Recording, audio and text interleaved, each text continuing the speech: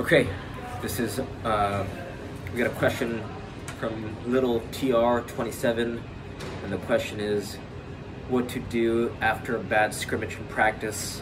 This person, they missed three goals, they had a handball, they had energy during the, the training, but they didn't know how to use it. And they were more angry, angrier, they were more angry than sad about this. And then the question was another follow-up question, right? The first was what to do after a bad scrimmage and practice. And the second question is what to do to calm down or feel better after a bad session. Okay, what to do after a bad scrimmage or practice. So I've just recently learned about this. This is Tara Brach, who says you could use this acronym called RAIN. It's called RAIN, right? It's it's recognize, allow, investigate, and nurture, right? You want to recognize what is happening. So like you're saying, you had a bad practice or scrimmage, and it says allow.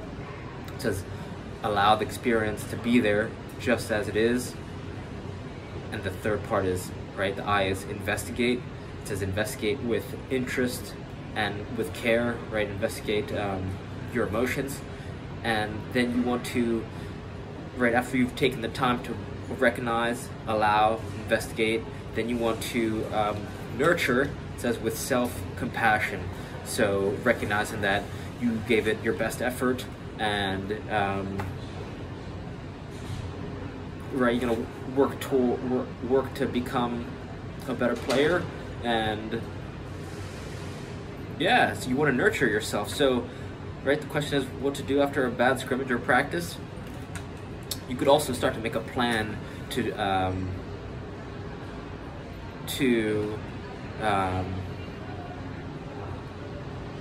really prepare right so you maybe this maybe this means working on your warm-up right? Maybe getting yourself in the zone. Are you someone who needs to, um, do you have so much energy that you actually need to calm down or do you have not enough that you need to um, kind of elevate yourself before before um, your training and scrimmages? Um,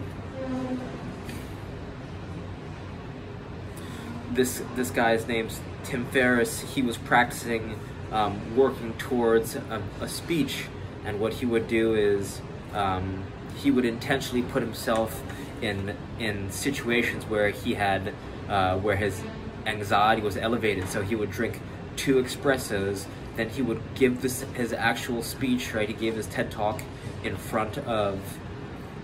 Um, during lunch breaks at Fortune 500 companies, right? So by repeating, putting himself in uncomfortable situations, it would allow him to be comfortable. So, you know, I'm not necessarily saying that you are um, nervous per se, but I would increase, right? Um, mistakes happen, right? As long as you're playing, you give it your best effort. It's like you know, you're human, so that's that's the beauty of being human to make mistakes and to um, train smarter, right? If you're not do doing a juggling practice, five minutes of juggling a day, 10 minutes of juggling a day, right? Start very small two minutes of juggling a day, right, with either a tennis ball or a heavy ball. I love Reactor's 2.2 pound heavy ball, right, doing just five minutes of practicing a day. And I feel like if you're not already doing it, you, you know, you'll feel sharper during practice. Um, Sense Ball, I'd recommend this to a lot of players. It's a ball on a rope or uh, even a SKLZ kick trainer. That one's cheaper, right? SKLZ kick trainer.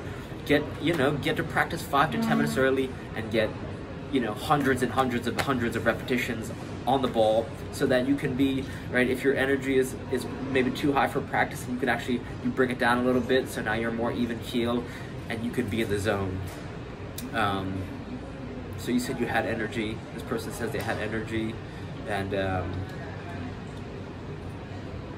but they want to use more of it you know if you've got more energy after training who says you can't stay for longer and uh, work on the little things. You're juggling, right? You're dribbling, dribbling sequences, right? Ball on the rope. You're breathing.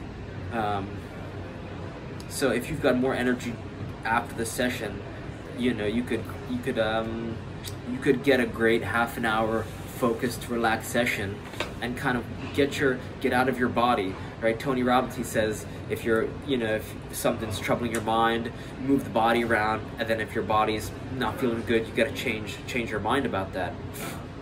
Um, there's a story about Michael Phelps who before the day before the it was either the night before his next training session or um, big swim he would mentally go through his warm-up and then he would have a routine for his warm-up and then he would mentally he would visualize him doing the races so that when it came to race day he already performed he had basically already lived the full he had lived through his win and he had lived through his performance.